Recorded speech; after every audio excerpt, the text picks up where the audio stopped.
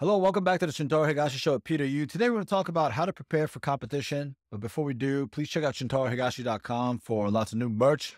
I'm wearing it right now. It's like a judo t-shirt. It's pretty cool, right? I like it. Oh, I And didn't know you dropped dropped new merch. Just I now? mean, it's been on there. It just doesn't Yeah. sell, so no one knows about it. It's, a little, it's like a little Tatochi situation. It's pretty cool. yeah, I got nice. new content, video content out there, concise instructionals. Yeah, it's the best. It's great. Check it out, shintarohigashi.com. All right, competitions. Yeah, that's right. So this was a suggestion from Alice Adair, uh, one of our patrons. You know, he dropped Yeah. uh this suggestion in our Discord server. So if you, that's another way to connect with us. Support us on Patreon and join our Discord server. Anyway, Yep. all right. So how to prepare for competitions? You know, competitions are a big part of judo training. Yeah. It's not for everyone, that like you Mhm. say, but a lot of people want to do it. But it's definitely different from just going to practice, right? Yeah, So sure. I think uh, first we should touch on how to train for competitions, you know, because it is different from just like doing your drilling and randori. So how do we approach approach that in uh, Okay, in terms of judo? Before we like jump into competition, I think you know this is the nuanced thing that I'm always talking about, Yeah. right? Like who's preparing for what competition and what part of their cycle. You Yeah. know, we're talking about an Olympic caliber athlete who wants to make it to the Olympic, national level athlete trying to make the Olympic team, Mm, or somebody just kind of break through the regional level, right? Yeah, Somebody that's going to the local competitions who've done it a few times or who's never done it. That's a very different experience than someone going, you know, I don't know, to the East Coast Championships or something. so Different before you, belt levels and all this stuff, right? you you gotta so you're saying what you're saying is we gotta think about your goal and your experience level even Yeah. before deciding on how to train for it Yeah, let's start with the Yeah. lowest level, like Yeah. the beginner level, right? yeah You're in the dojo, you're doing it, like doing Randori in class and stuff. Mm-hmm. Let's start with that guy. all right competition. the beginner yeah so you're like first competition you're you're First competition, you just started judo a couple months ago, you're a white belt. My advice is don't do it.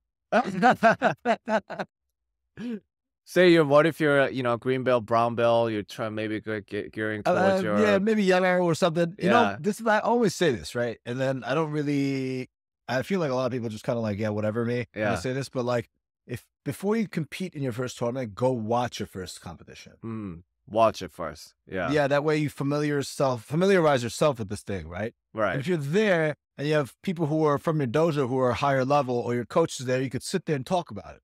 Mhm. Hey, that's my division. Or your coach would be like, hey, that's the guy that you're going to fight. Because a white Right, belt could easily go, not know about weight classes or divisions or anything. Be like, I Yeah. got to fight that guy or that girl. Oh, I'm not going to do it. You know what I Mhm. mean? Commonly, like I have female competitors that are like, oh, I want to go compete, but they don't have Right. ranked divisions because there's just not as many in the local circuit right they'll right just bundle them together, you know, uh, and it'll be like an open weight class situation. They'll do like light, medium, heavy, and then Mm. it's like any belt goes, and then the coaches say, "Hey, is it okay for these two to fight?" oh, Sometimes to- the opposition's like a brown or a black belt, you know. and Right. This, this girl just started; she's gonna get slaughtered. So that's not good no, that's never that's never good. But like Yeah. you know, you go to see the competition, and the coach says, "Hey, that is your division. That is Mhm. the division that you'll be fighting in. You know, you could fight in the masters division or the regular adult division. Let's see what the competition looks like." right right right? And then you're giving them fair expectations of what to expect when they walk into the tournament.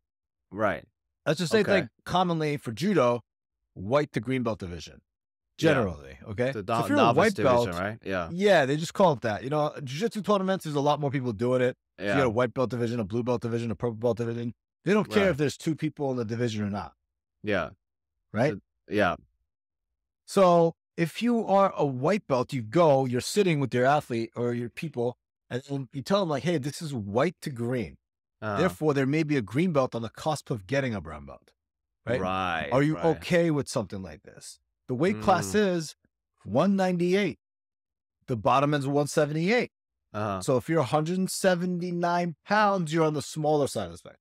right Now you're smaller than everybody, and now you don't have as much experience as everybody. Right. Right That guy's a yellow belt, but he's a wrestler. You see all these different types of people there, right? So now you're sort of setting up the stage of what to be able to expect. Mhm. And if they go in and enter in that competition for the first time, there's a good chance they get bombed, yeah right? And then they quit. And that's on you as a coach. uh-huh That's why so, I always say, like, hey, if somebody tells me I want to go compete, go watch one. I see Go watch so one. You know, before even yeah. preparing, go watch one, you build up a realistic expectation. Yeah. Yeah. And then if they don't do it and they just sign up, they kind of already like lost my trust a little bit. Right. I mean, right, I said, oh, right. "Oh, don't do it. I don't think you're ready," or I, don't, I wouldn't say I- I don't think you're ready, but hey, go watch one because you know it's good for expectations, set expectations Right. you're seeing, understanding what's out there, right? And then you know we'll plan accordingly. yeah. Nice. Sometimes you'll get a guy that goes sees it and they're like, "Whoa, that was so much," you know, or it's right? So that's a the first and foremost thing. Before you even start preparing anything, go watch one to know what you're up against, and then talk to your coach about it. Have an open, honest conversation about it. And if your coach is like, yeah, bro, you go out there and just kill everybody," and then it's not a nuanced conversation, then you you know, can you really trust this person? such a nuanced person, Shintaro. This is all good about nuance yeah. these days, man. You know, which is which is very important. Not everything is black Yeah. and white, right? Yeah. All right. So let's say this uh, our beginner yes, go yes, yes, went to watch a competition and decides to do it. Okay, like so. What do we do? What do we now put to prepare in inside the dojo? Okay, so being on the right weight, uh, that's Yeah. a huge one. Trying to get in the best shape as you can. That's Mhm. second, you know, thing that you have to kind of do, right? Yeah, yeah, And then you have to sort of start preparing doing Randori and fighting, yeah, right? And then you kind of got to go through the list of like, hey, what is my game against the righty? What is my game against the lefty? Do I Mhm. have the ability to distinguish those things? Do I go against other novices in the room or do I only go with black belts? yeah, Because if you're being held- handheld by all the black belts and then they're taking falls for you, you're going to be kind of surprised when, you know, some yeah. big, strong yellow belt's going to start, you know, coming at you right, with right. both claws. You know what I mean? Yeah. So that's So what, how- that's what you got to do. How do you manage that? So you do you. It, so we're talking about novice people here. Like, Yeah, do you yeah. actually have them go against each other? And because you're kind of against that, right? Well, you uh, know, in so I, I let like the green belts go against the white belts sometimes, green belts, Yeah. yellow belts, kind of a thing. Yeah, I always like uh, a little bit of skill gap. You know, Yeah. if it's very, very close, it's a little Right. bit more dangerous because there's less control. uh, You know what I mean? I Uh, see. But you know, if two people are signed up for competition, then they, you know, they understand what's out there. They, you know, the expectations are set, right? They know exactly what they're getting themselves into, and they're both Right. great athletes. So that they've been sort of vetted through my process of saying, "Hey, you guys are qualified to be able to do this." Then those two can potentially work out with each other. I see. I Yeah. see. So Yeah. do you? Uh, But I also make it a business, my business, to uh, make sure that they don't get any yeah, too much special treatment. They get special treatment, right? A little bit. right, right. but it's not visible to everybody from an optical standpoint. Like there's a hierarchical thing that the competitors are higher than the non-competitors in the dojo because it shouldn't ever be that way. You know what yeah, I mean? you you talk you emphasize that a lot. You Emphasize it. emphasize It's not for everybody. Yeah. It really isn't. Yeah. But you know, judo isn't all about competition. It's about self betterment and learning and training and all these other things that come with it. You know, it's not one thing, right? It's judo for Yeah. self defense. No, no, eh, that's par- partial, right? Yeah, But it's a small segment of it. There's lots of different segments that come together for it to make this thing that everyone's Right. here to get better, essentially, right? right, right. That makes sense. No. Okay, so you, uh, do you focus on having them do randori more, or do you do more situational drills? Both. Like, where would you put emphasis on? Like for A little bit of both, right? And this is the thing, like I can't dedicate my time to the yellow belt that's competing, Yeah, period, because there's 30 people in the room sometimes. yeah, You know what I mean? Gianni's gearing up for uh I don't know, nationals or something, and Yeah. George is a black belt, and we have black belts here and white belt, and that guy's brand new, and you know, all these different things are factors. you know what I right, mean? right. But if I was to dedicate my time to like someone that's like novice competitor and, you know, I would talk to them about position and I'll do lots Yeah. of gripping drills and then let them understand like where they are right, Yeah, as yeah. they're fighting, you know? right. And competitive strategy is a whole other thing. Strategies and tactics are a whole other thing. You know what I mean? I've heard Mm-hmm. Yeah. coaches just go out there and put your hands on the guy, but it's like, oh, it's tough. Right? You have to be taught how to put your hands on the guy. On- Unless you have so much time in judo that everything is already sort of unconsciously done. Right, right. Like the Japanese aren't taught specifically how to grip. They they just learn through. They Like, literally link up. They link up and then they start making adjustments and then they're like, oh, this is my throwing position. And they're Yeah. like making these micro judo movements. Yeah, micro judo. Video yeah, coming. baby. Shameless drop. Right? Yeah. So, you know, a lot of the times they don't have the time in to just develop these small, you know, niche things like naturally, right? So they have to be taught, you know, and Yeah. what's the best bang for your buck? Like grip fighting. Yeah. So what is a dominant position? What is a non-dominant position? Right. And letting that integrate with your abilities to attack. Right. feinting, misdirections, combinations, you know, direct attacks, right? And then sometimes it's like, you know, if you're going against a white belt, direct attacks are the best because they don't have the reactions to threats. They don't see the threat because Yeah. they're just too dull. Yeah. Right? Yeah. The game is too dull. So, you know, talking about them with, both, with those kinds of things and drilling those specific scenarios. So good. Yeah. You lay the foundation, kind of like this micro judo stuff with drills, situational drills, and then you add on the randori on top of that. Kind of. I don't go into Yeah. too much depth about like the micro judo and the positional judo so much, right? Because Uh. it's a lot more advanced. It's a lot more. to it, Right. you know what I mean? So a lot of it is like gripping, put the hands on here. Once you get good position, you want to be offensive. You want to attack first Right. is generally the advice that I, I give see. for beginners because even if you're in dominant position, if they don't have the ability to do a good defensive thing, Yeah. right? Like they haven't experienced too many big Osoto guys that the guys really try to take your leg off. Yeah. so yeah. even if you're in winning position, you can still get taken down. Right. Right. Right. If you're very, very good at judo and you're in winning position, and the other guy's very, very good at judo, but they're in losing position, the likelihood of that person throwing you with a soto is very low. Yeah. Like if I'm winning in position, I really don't think anyone can throw me with a soto. Uh huh. Seriously. Whoa. Maybe, yeah, yeah. maybe Petty like, Riner too. oh, if he gives me the sleeve and I can pin it down and I have this hand by the collar Yeah. and I have my hips back and I'm like Yeah. shoving that hand down, ready, set, go. You have eight seconds to throw me a soto. You won't be able to do it. No. Guaranteed. Oh, okay. Okay. Yeah. Nice. Right. And if it's 20 seconds, it's like, oh, shoot, you know, I'll just go to Manage from there because I know I it's coming, see. right? It's like, right. Right. I know that's like a, you know, big, controversial, arrogant thing to say, you know, but, but it's Well, not, it it's makes sense. I mean, it's yeah. like, yeah, I, uh, yeah. yeah, I think seven out of ten is grip fighting almost. in, like, yeah. So it's yeah. like, but if you're a beginner, you know what I mean? You haven't developed a, right. Right. a sort of defense, maybe, right? yeah. And then you believe Osoto's coming and then the side comes and you get toppled right over, right? Yeah. But they haven't Yeah. developed that sensitivity yet. Yeah. You know what I mean? So it's not this like mental game that, you know, very, very like intricate systems and figuring things out and setting up traps. And the- it's not like that at the beginner and novice level. Right. So the right advice is like, hey, put your hand on and these, this is dominant. This is not so dominant, right? When you get here, you just start going. You're just showing them like Yeah. happy pats, so to speak. Like, hey, Kind of, yeah. Yeah. to these couple of attacks, right? Show some feints, show some feints, see if they Yeah. react, should do some misdirections, and then go for it. Yeah. That's really Right. the advice that I, I would do. And then that's how you would train them in the room. You know what I mean? Uh, And then it comes down to the fundamentals of doing big throws, Nagekomi, Tayo, Yeah. Soto, Uchimata hard, right? yeah. So they're able to pull the trigger. Okay. right. It's like bow, go in there, put your hands in, you're in dominant position, show a couple of feints because you don't want to just go for the first thing and get countered. Right. Right. Like Ouchi. Everybody's Yeah. good at countering Ouchi. It's so intuitive. It's just so intuitive to counter it. yeah. Oh shoot, I'm falling. Let me pull him back and go this way. You know, like everyone, Yeah. anybody can do that. No kids can do it. Like Uh, without even learning judo. Yeah. So show some stuff, show some stuff, and then go for it.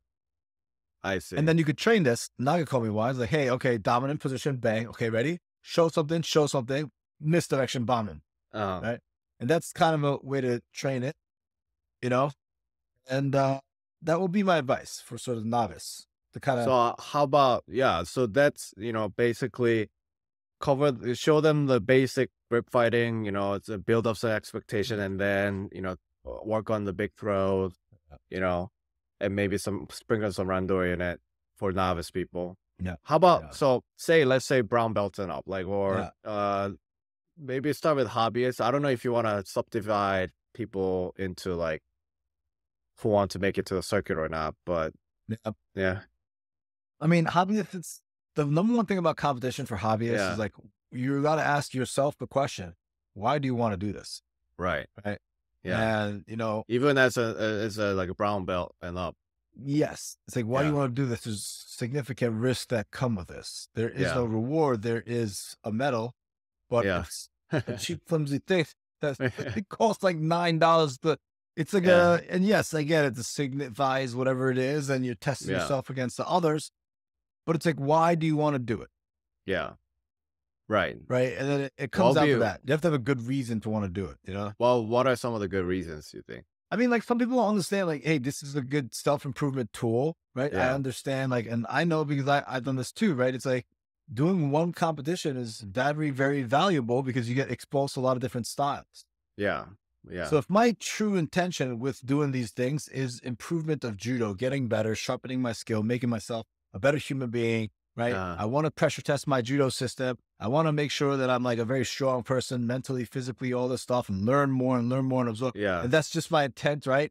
Then yeah, you, you go for it, you know. But if Yeah. you're like, uh, I don't know, a contractor or something, and your body Yeah. depends, right, on Right, right, you're, right. you making a living, Yeah. right? And you're coming to judo once or twice a week and you're just kind of there for the boys of the community, then it's a horrible thing to do, Mm. right? Because it's Mm. all risk and no reward. Yeah. Some people say, Oh, I want to be stronger mentally. That's why I'm going to do this, right? I want to make Yeah. myself strong mentally. I want to be able to overcome. I want to be able to like be able to fight through fear. Yeah. Okay, that's great. That's a good reason. Yeah.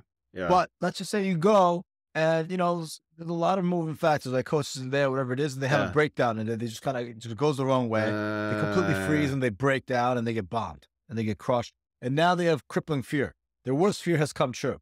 Okay. Right. And the coach isn't particularly there to like soothe them and talk to them and let him understand what happened because he's off somewhere, you know, coaching someone else maybe.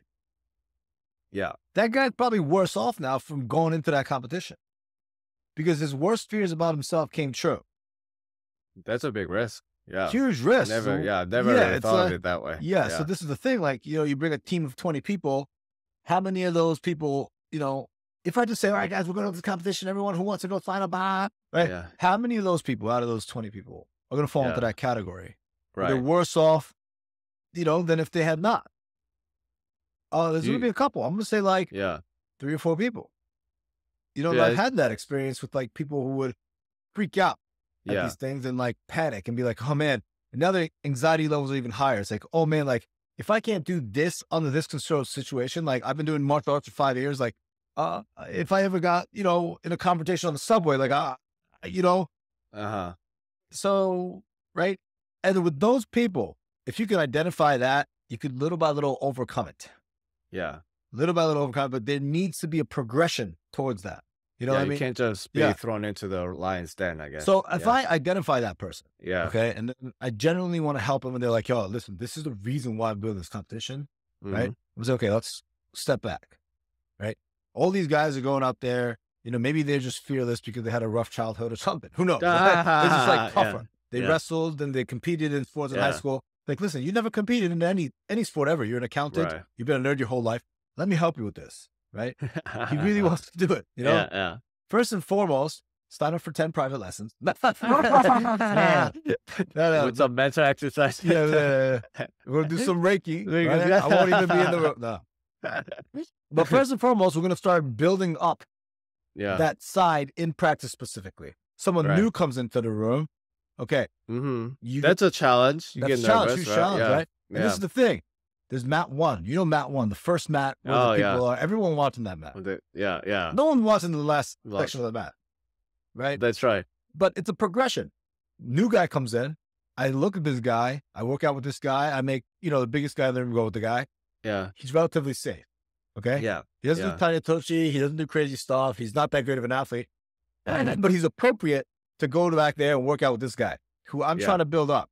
Yeah. It's his first time. Never saw him before. He's scared Yeah. of him. They're eyeballing each other. You know, because they're walking up and down the dojo looking at each other, right? Ah. Like that guy's around my size. Like he's, I've never seen him before. I hope he's not a killer. I go, hey, listen, man, this is your test, right? We're gonna go out there. You're gonna try. You're gonna do your system? You're gonna Mm. do your best. Put your hands on the get. You're gonna show some stuff. You're gonna go for it. Okay. This is test Yeah. number one. Go for it. You got it. Put him in the back. No pressure. Mhm. I'm going back there, right? And then hopefully That's by then yeah. we have a, a relationship, me and that athlete, particular Right. athlete, because if he's like, oh, I don't want to let him down, and it just adds to more pressure, right? Yeah. Yeah. Yeah. But if all things are proper and right, which majority of the times I'm not always doing the right thing. I can't stress this enough, right? He trusts me. Uh, he knows I'm the guy in his yeah. corner that I, I want what's best for him. I go back there. I'm like, listen, you got this, bro. Just do your best. Okay. Just do your best. It's fun. This is fun. Step one, right? Set set him up for success. Set him for basically. success. He goes out Yeah. there. And, you know, usually when I do something like this, I know that this guy's going to have the upper hand, and especially with Yeah. guests, right? That's the thing about guests are a double edged sword, you know? yeah. because sometimes they're killers, sometimes they're dangerous. Who knows what the hell happened? Right? Right. I'm also not trying to have a guest come in and get injured on my mat either. Right? Yeah, yeah, So it's a sweet spot yeah. in terms of like dual game, right? Right, right. I go back there, he does a good job, and it's like, hey, that's what I'm talking. about. Yeah, And then that's gonna build. Feel remember this feeling? We're gonna build on this. Right? You enforce Mm. it. Hey, you did a great job, buddy. Now you're getting somewhere. Right. And then you're just building on top of that. And before you know it, right, nice. you've built this person up little by little. And then you go into a competition, you know, and he may be a brown belt, but you give him a yellow belt. then- I'm kidding. I'm not, I'll never do that. I'll Yeah. never do that. A But little That, sandbagging. that's kind of the idea, you know, yeah, to prepare these guys for competition. You can't just throw them in the in the thing, Right. not knowing who's going to be there or what. And uh, you, you gotta know? build them up mentally, them like, up. like uh, even even as like brown belts, like Yeah. uh, black belts. You know, it's it's a Yeah. totally different animal. Yeah, And- totally different animal. And then Yeah. sometimes you need that team thing. Everyone has to go. Yeah, You know, I have a hard time going to these tournaments now because I have a daughter and you know I'm a single father. So it's like I'm not going to burn a Saturday being at these things. I know that's You know? that's one of the big thing. Yeah, yeah. it's like it's tough to justify. You know what I mean? But there's guys who go on their own yeah. and they do pretty good. You know, we have a Mhm. novice guy that goes to like all the local tournaments and he's Oh, crushing it. he loves it. Yeah, Oh, nice. So, that's fine. You know, So now we cover hobbyists. Uh, how about like people who want to make it to the circuit? I guess uh, I I don't know what Gianni is doing. yeah, he wants to what make his it goal is. Yeah, yeah, Well, you got to understand how like the system for the competitive roster is set up, yeah, right? yeah, You got to look at the point system. What's worth Yeah. going to? You know, because Yeah. Johnny has a full time job. He can't go to everything, right, right. right? What level tournament is it? What level? How many points you get? Yeah, Right? In the U.S., it's generally you know C, D, E, or Yeah. the level tournaments, right? You know, national level tournament, regional Right, level right. tournament. You get this many points. You get on the American roster, ranking Yeah. roster, and then if you're top five in that, you have the right to go to the international tournaments. mhm. Uh, Even there, there's levels. So the, the yeah. Grand Slam, Grand Prix, you know, Continental Opens, things like so you have to be you have to you need someone that knows about all these levels and you strategize. kind of do, yeah. Because Yeah. then you pick out your tournaments that you're going to go Yeah. to for in the beginning. You get this first selection. Gianni's like, which one should I go to? What do you think about this one? And it was like Portugal, you know, England, Yeah. whatever, whatever that was, right? It's like in Yeah. Europe. I was like, dude, Yeah. the European Continental Opens are much harder. Okay. Yeah, pick the Pan American Continentals or the, Uh. the Oceanic Continentals because the same value in terms of points, and you're not going to get those killers. You're not going to get the guys from Russia. You're not going to get those guys. In the South American ones, you're going to get Brazil, Cuba. You're going to get those guys for certain. But if you don't fight them first or second round, you could draw them later in some the point- bracket. Yeah, You yeah. get points for those early wins. yeah. And that's going to help you be seeded for the bigger ones once you get Yeah. to the Grand Prix and the Grand Slams. Now, with Yeah. my issue, a lot of the times, I'll get to the Grand Prix and Grand Slams. I'll fight a top 10 guy in the world and get killed. You know what I mean? right, right, right. I mean, not killed all the time, but you know. right? Like uh, yeah, you're on Yeah. nice and all. Yeah. So you got to that like, was like yes. yeah, So you got to pick the tournaments appropriately. You know yeah, what I mean? And then based on where you are in terms of level, right? You want to make sure you peak at the right time. You know what I mean? yeah, If you're a national, international level athlete and you need to go just do a tune up at US Nationals, then Yeah. you don't need to peak for US National. You're training all the way through. You just right. training hard That- that, whole week. Like nothing is, nothing's different. Okay. That's part of your training almost. part It's of your like a- training, yeah. yeah, you get on the plane, you go, you compete, you do a camp, whatever, right? And you come back Yeah. and you're back at it. You know what I mean? yeah, But if you're fighting in a, let's just say a Grand Prix and you're a candidate to medal, but you're sort of not quite there, it's a little bit above your, right? Yeah. Then you want to peak for that, peak for something Yeah. like this, right? Or if you've made a Pan Am team, that's the biggest points, the Pan American Right, Championship, right. Pan American Games, because that's the best value for your buck. yeah, And so the path to being an Olympian in, you know, the last 12 years that they've been doing the system yeah, is to be the highest ranked athlete in the world by going to these Grand Prix, Grand Slams, Yeah. the World Cups, and Continental Opens, and then be the highest ranking athlete in the world in the U.S. in your division, uh-huh. which qualifies you to go to the Pan Am Games So- of the championships. And that tournament, the Uh-huh. Pan American Championship for the Games, is worth so many points. uh-huh. So if you medal there, you fly up the world ranking list. Mm, mm. European games, Asian games, Pan American games, Oceanic games, African games. Right, right. The continental Yeah. ones. Okay. Real, not the Continental Open. oh, okay, okay. That's the that's the lowest tier. That used to be called World Ah. Cups. Now they're called Continental Ah. Open. Yeah. Man, this is a d- different world. Yes. So, So, you gotta, yeah, yeah. make it on an Olympic team without a doubt. You have to get to the Pan Ams, right? Because Yeah. you're not going to go to the Grand Prix and the Grand Slams coming out of a, a soft country Right. like the United States for, in terms of judo, right? yeah, and then yeah. consistently medal at these things. right. Very rare. You get Yeah. Travis Stevens did it, you know. Yeah, Caleb did it. yeah, Majority of the guys who are on the international circuit, U.S. brings 30 people. Who's medaling? yeah. Maybe one, maybe two. Yeah, yeah. Who's losing first round? Eh, 95% of them. Yeah. know, right? yeah. So Because also brack. That's how brackets work, anyway. yeah, that's how Yeah. brackets work, and that's Yeah. just how it is because you draw the Yeah. higher seeded like, athlete in the world. Yeah, So it's not really just a ding on the U.S. athletes; they're great athletes and all, and I, I'm you know a big fan of them. I root for them. But if Pan Am is the thing that's going to determine whether you're going to make it, you want to peak for that, right? You want to be at the right weight, the cut weight, to be in the right weight Mhm. class. So that's a component of it, right? yeah. Making the weight properly, which was my biggest issue all the time. I hated, Uh, you know, making weight per se, right? yeah. You gotta be diligent with your diet and stuff. and- yeah, yeah, yeah. Dieting and then weight cutting is a completely different thing. You have to diet down and be as lean as possible. That's Yeah. really the key. You know what I mean? And this is the thing. I could. I'm 220 right now, and normally I'm 220, right? Walking Yeah. around. But I would cut down in air quotes to 178 sometimes. yeah. You, know what I mean? You can wa- you can watch uh videos on Shintaro's website. but this is the I thing. mean, on channel how I'm he carrying substantial amount of body fat, like uh, most time. So Uh-huh. could I potentially diet down to like 180 and then Yeah. compete? Me being shredded, yeah, Yes, but this is the thing. I'm a little bit undisciplined in the eating, right? I'm like, eating, I love chicken parm, I love pizza, burgers, right? You know what I mean? So I'm like, kind of yeah. eating what I want. And back in the day, I was drinking a lot more. So it was drinking, hanging out, eating food, ice cream. I used to eat a pint of ice cream a night. Every single night, I did that. Yeah. Yeah. So like, I'll be like 198, one, you know, like 200, 205. And then I'll be like, oh, shoot, I got to diet down. I diet down to like 195. And then I'll cut, Yeah. you know, 10, rest, 15 yeah. pounds, like, you know, the week of, of water weight. You know, like, can you compete optimally? No. You know, would all the coaches tell me that? Yes. Would I listen to them? I mean, I, I understood it, yeah, but I would make the same mistakes over and over and over again, really. You know? And I've made weight properly sometimes. I, I've made weight like poorly sometimes, and it shows, you know, in your actual results. You know, and it's this is like a, you know regular story yeah. in the international circuit too. I've heard a lot of you know Olympic champions saying they they struggle with weight cutting, Yeah. weight management. I mean, it's not an easy thing. So you No. and so it's not just about training. So like weight, you gotta diet down, discipline with your diet, and diet down so you shred uh, shed out shed your all your fat, and then cut the last bit of it with Yeah. water. Yeah.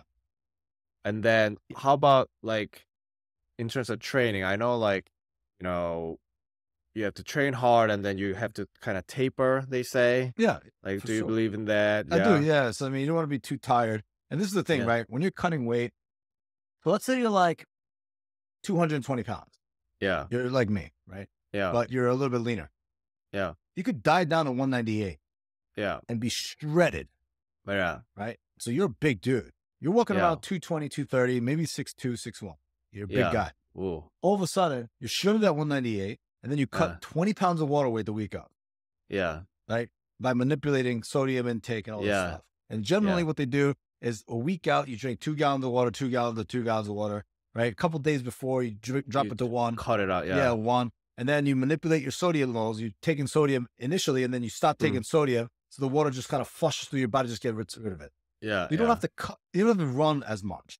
Right. Right. You still kind of do, right? You just Yeah. sweat all time. So now you're getting close to that day. You're a frame of a 230 pound man. Yeah. You already have no more body fat. So there's no excess Yeah. weight that you're carrying around. Yeah. And now you s- drop the last 10 pounds by sitting in a sauna or going for Yeah. a light jog and things like this. Yeah. I mean, and then you make 178 and drink a lot of water and you rehydrate and you Oh, bring it all back. You take your carbohydrates that increases your glycogen stores that hold on to water. Okay. You do all this stuff, sodium, all this, right? Now you're out there like competing against guys. let- Let's say you didn't cut weight at all. Right. Yeah. You're a, okay. You're 170 pounds soaking wet, carrying body fat. so you should be fighting 145, Yeah. right? That's the division you should be fighting against the guy who's naturally 220 12. pounds. That's a huge difference. Okay. Yeah. Yeah. But like finding the right weight class and then being in that right weight class and then making that weight properly is a huge portion of it. You know? Yeah. And just as you asked about tapering, it's very, Yeah. very important. Taper. But if you're cutting weight, you have to You- run the last can't- weight yeah, off. Yeah. Yeah. I remember I made 178 for a tournament, uh, like March or something. And dude, I had to run the night before and the day of, and I ran probably like 10 miles because I didn't have access to a sauna. Oh gosh. Yeah, Yeah. So it would be like hot shower, you know, put on my sauna suit, the plastic vinyl suit, and then go for like a light jog. right? and I Uh. probably did like 10 miles in two days. So by the time Oh. I got out there, my legs were like tired and shaking. Yeah, I wasn't yeah. explosive. You know, it was like the worst thing ever. You know, 30 seconds into the match, I was huffing and puffing. Guess Good. what? I Yeah. lost that match. Yeah. but that was all because like I didn't plan and then start dieting down two months out. Yeah. you know what I mean? And if you're on the circuit, you kind of always have to be on because competitions are back to back. Right? Yeah. Yeah. You do the European tour, the Asian tour. Eh, you're in Korea one day, do the training camp. You know, China the next day, Yeah. do the camp. Now you're going to Japan, do the Yeah. camp for two weeks, and then you're flying back to the United States. Yeah. Yeah. Yeah. So during that whole time, you have to be watching that scale, not to balloon up and you know eat too much. Right. Because like in each country there's a competition, right? That's the idea Yeah. of a tour. Yeah. Yeah. So it's like you have to sort of diet down and already peak at your stage, and you just kind of have to maintain it. So like yeah. being able to see where your body is, right? That's a big one, you know? And sometimes you don't have that luxury of being in the right weight class. You know, when Right. Travis was fighting 81, I wasn't cutting all the way down to 81, challenging, taking on Travis. Yeah. Yeah. I was already the best guy in the US at 220. yeah. So I would just fight 220 and go international. But the problem was when I went internationally, everyone's 6'4, 6'5, cutting down from like Yeah. 250. Like Krpálek was in my weight class. See, that's Yeah, the difference. I fought Krpálek in competition. Lucas Krpálek. It's a monster. Olympic gold. He's like Uh, he's giving Teddy Riner a hard time. Guy's like six six. oh gosh. Okay? He's cutting down down to two twenty. I'm like Yeah. walking in like two sixteen, like chubby. you know what I mean? There's a very very di- big difference in the physicality of that. Right. Right. So all these different things kind of matter. You know, in terms of like training. Mhm. You know, let's talk about training for competition at a higher level. Uh, it's injury management too, because you're always injured. Yeah. You're always going to be injured if you're doing it at a high level. Because you have you can't rest. You gotta it's keep that going. truth. You- you wear wear Yeah. a tear. Yeah. Yeah. Gianni tweaked his shoulder, right? He's right versus Uh, left. So yeah. now it's like we're posted on not doing anything with this side and we're just working on like gaining the sleeve, Yeah. right? Whether it's like outside gain, inside gain, Yeah. lapel, moving the arm, and then gaining from the outside, Mm-hmm. lapel moving, gaining from the inside, on the side. Yeah. So like we're just doing that, or you could work on footwork, you could just do cardio, you know, where you are in the training cycle. Like you understand, have to understand where your gap is in the game and say, hey, we're going to do deliberate training. I hate it when the guy comes to Georgian grip over over the top, Georgian A, Georgian B.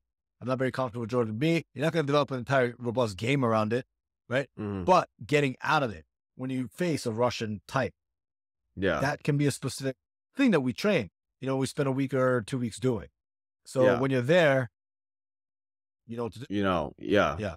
and then just kind of like you know making yourself like a robust system and then Uh. some offshoots for different styles and then how to deal with each and one of those you know all those things you know lead to tournament prep and having a great coach is first and foremost you know I mean, I think I, you're Yeah. kind of saying that throughout the episode. It's so, Yeah. you need someone who knows all these things. you need a you It's need, a, a- you need a coach that does that and is also invested in you Yeah. because i know the stuff and if i'm not invested in this person why, why I bother wouldn't do it. it's a Yeah. waste of my time you know what i mean Yeah. because there's 90 other people that i could be focusing on or Yeah.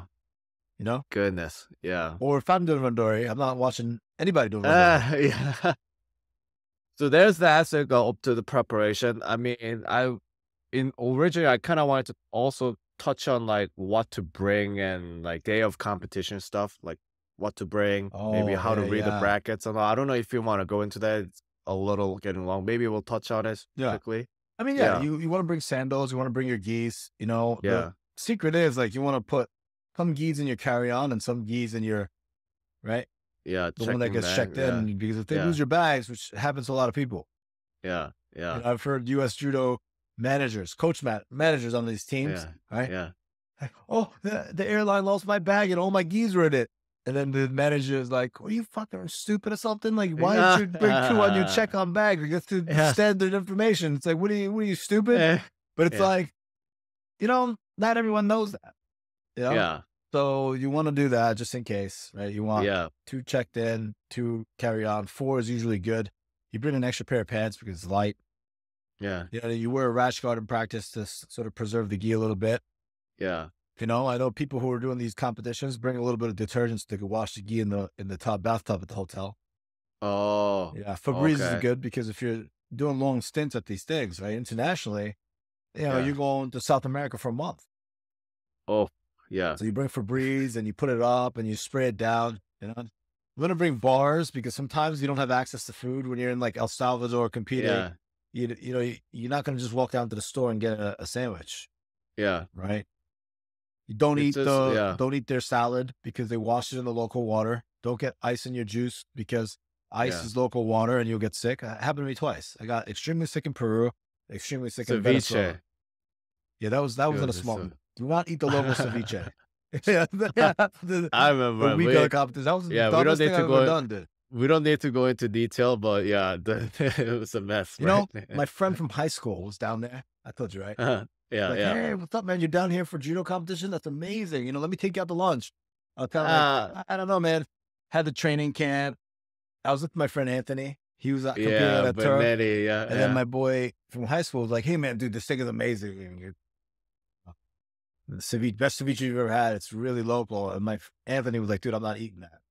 ah, oh, like, smart I was man. like, I'm not eating that either. And then he's like, no, it's so good. You got to try it. It's local, whatever. I was like, you know what? I can handle it. Got sick of the dog. But guess what? I still competed. I know. Thank God this was early in yeah. the week. It was early in Yeah. the week. I got So you could recover. deathly ill. Yeah. I recovered a little bit.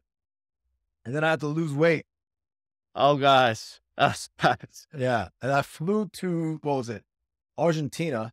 I know it was a like a little tour, right? Yeah. And then I had to fight, uh, who was the Cuban? Silva Morales, who was like Yeah. seventh in the world or something. yeah. I think he's an Olympic Did you get concussed then? He headbutted me and I got hurt. Uh, yeah. yeah, But, yeah. you know, the morning of, I was running also Uh, because I had to oh, make weight. I had Yeah. selected for the 5%, right? Weight increase. Oh, the yeah, yeah, yeah. Ridiculous. I had to make weight twice and brutal. Oh gosh. It's hard. but anyway, Yeah. yeah, You know, I I competition, yeah. bet like Usain Bolt only eats McNuggets apparently when Yeah. he's in. Yeah, No, so there's they're uh, consistent. Yeah, Yes, that's what people say. You know, if Yeah. you eat fast food, if you get used to it, every country you eat, the fast food's Yeah. gonna be similar. I've heard that before. But bring some bars, bring some Gatorade, bring some medicine. You know, that's always nice. Have like a little toiletry kit, tape. I guess. tape. Yeah. And, you know, getting your mind right. You know, keep your Yeah. mind off the competition if you get nervous, right? Giving yourself Yeah. a little bit of a distraction. Download some podcasts, go on Instagram. Who knows? You know, just keep your mind off it a little bit and then warm up properly. Mm-hmm. know the type of warm up that works for you. Yeah. You know, your little mental games that you play, whether it's like having a mantra, you know, yeah. having like a pre tournament warm up Right. routine. Those Do things all you- help. Do you think about strategies too? I mean, I get like look at the bracket. Oh, like I know that guy, this guy. Like Yeah, yeah, yeah. 100%. Yeah. And now you can just Google them and find their matches Yeah. online. Even back then, you know, yeah, when I fought Anai first round of the Worlds, yeah. Uh, yeah. Tokyo Grand Slam, it was like he was number one in the world, right? Right. I remember and that. I yeah. went online and I looked up his matches. I'm watching. I'm like, wow, this guy is probably to throw me. yeah. But you didn't you score on him? Like you did like I took him um, down. I, I should have gotten yeah. a Yuko for that because like I shot him on the leg, you know, because Yeah. he's leading with his left for posting yeah, the hand, yeah. and I like popped it, duffed on there, grabbed the leg, and like pulled him down to the ground. I This always was got. a- I used to always get one takedown on all the best guys. Yeah. I got. I mean, I took Anai down. I didn't get a score for that. I should have. yeah. Right when I fought in the World Sambo Championships, I fought Russia. He was a six-time world champion. I took Oh, him down with a high crotch once. I got Yeah, one point for that. Yeah. And then even when I was in college, I wrestled the NCAA champ. And then Yeah. I took him down with a high crotch immediately and got two. Oh, nice. So yeah. that's my little claim to fame, right? I'll take down the best guys at least once. The takedown Yeah. specialists. Yeah. Yeah. But uh, yeah, you know, uh, you you can watch them and then break it down. You have a coach like, hey, this guy's a strong lefty. I remember when I drew Mo- Morales, Silva Morales, and Yeah. you know the kind-hearted man that Travis is. He gave me a phone call. Oh, hey, man, Travis. he's a strong lefty. He has a great switch. Right, Yeah. put your hands on and expect him to fake forward and go backwards, and you know, Ah. do your best, man. And I was like, fucking what? He, Travis even texted me like, call me. Right? Oh. Yeah. And he's like, I fought this guy a couple weeks ago. He, he had fought him like a month ago or something. and- Yeah. And, Yeah. and then Travis had, he lost too against him, you know, and uh, Oh. he was telling me, you know, to watch out for it. And that's exactly what I got caught with. I No, mean, he that's why forward, good, went right? back Yeah. and then headbutted me. And then, like, the- you Oh. can see that he changed the shape of my cheekbone. yeah, he did. That's what the that's what happens. I mean, that's why it's good. I can Yeah, dude. I had like this massive like thing on my face from it. And then Yeah, after the did you- match, he came up to me, shook my hand, going, "Oh, I'm so sorry. You know, I." Uh, Yeah. I'll- I'm like, "It's okay, Oh, man." sorry. I like, "It's all right, man. It's cool." Yeah. well, yeah. Well, guys, this um, we went through a lot of stuff. You know, Yeah. co- preparing for competition is not it's not a simple thing, and No. you just have to. I think the big thing is you have to really know why you're doing it because there's a lot of downside too. Huge downside. and you need to and talk to your coach. You need a good coach that knows all this stuff. And if you want to go into a circuit, it's like a whole thing that we'll pro- we can probably talk a lot more. But that's the gist of it. I hope you guys liked it. Anything else to before we close? Nope. You guys can reach me out one to one also if you want to talk a little bit more and have a little bit Yeah. of online coaching. I do offer Yeah. that on my website. It's on the pricing Mhm. tab, shintarohigashi.com. Um, yeah, best of luck to you guys. Great. Yep. All right. Thanks for listening, guys, and um, we'll see you guys in the next episode.